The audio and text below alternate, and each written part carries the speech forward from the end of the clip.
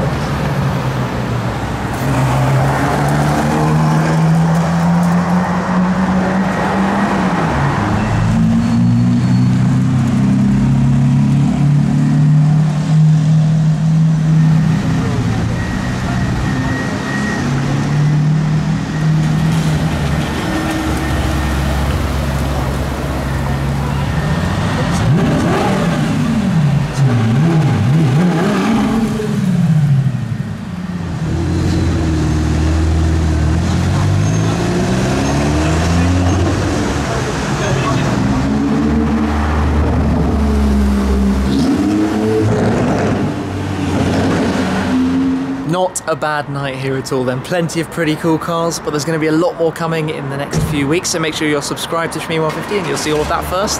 That's it for right now though, I'll catch up with you very soon. Cheers!